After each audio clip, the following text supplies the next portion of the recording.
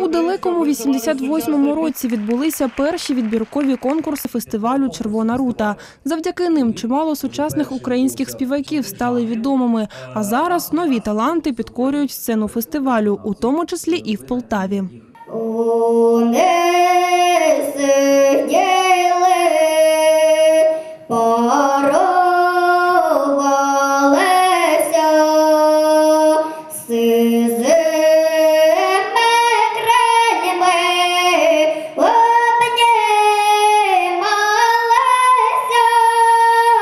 Ми би хотіли тут відібрати переможців у шести е, основних масових жанрах української музики сучасної.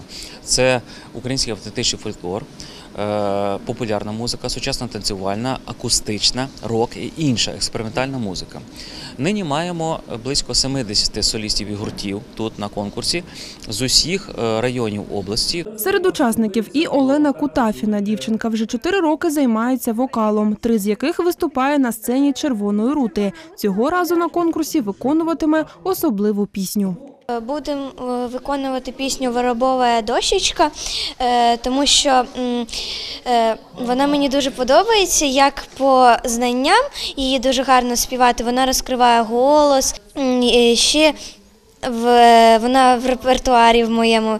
За кожним виступом учасників уважно спостерігають члени журі. Саме від них залежатиме, хто представлятиме Полтавську область на фінальному гала-концерті.